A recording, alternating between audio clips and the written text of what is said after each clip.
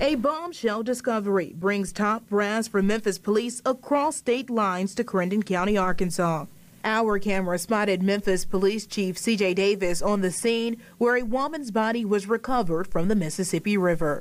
That is very devastating. According to the Crittenden County Sheriff's Office, the body was found just after 1 Saturday afternoon near an industrial area in West Memphis just south of President's Island. The body was sent to the Arkansas Crime Lab for identification and to determine how the person died. The finding coming nearly two weeks after missing mother, 21-year-old Tamia Taylor, was last seen on a riverboat booze cruise. Memphis police did decline to talk on the scene, but the department later released a statement saying they are assisting Crittenden County with this investigation. Taylor, a young mother, traveled with three co-workers from the Jackson, Tennessee area to celebrate her birthday in Memphis. Her friends told police they last saw her going to the bathroom. As investigators remain tight-lipped, many are wondering if the body could be Taylor as her whereabouts remain unknown. That is pretty sad. I hope her family gets justice. It's sad. Uh, hopefully they'll find out what actually happened uh, so that we can uh,